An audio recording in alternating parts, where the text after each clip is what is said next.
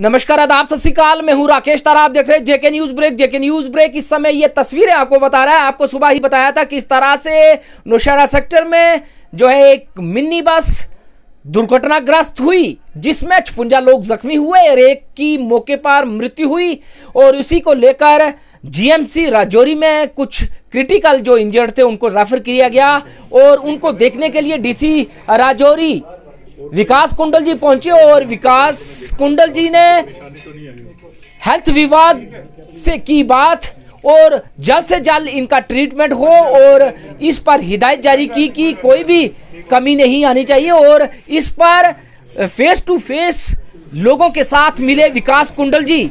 आइए दिखाते हैं रिपोर्ट, किस तरह से फेस टू फेस मिले और किस तरह से लोगों को आश्वस्त किया।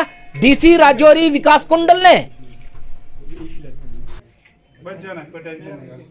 कोई गल नहीं, कोई गल नहीं बच जाना ठीक हो। जाएगा ठीक है।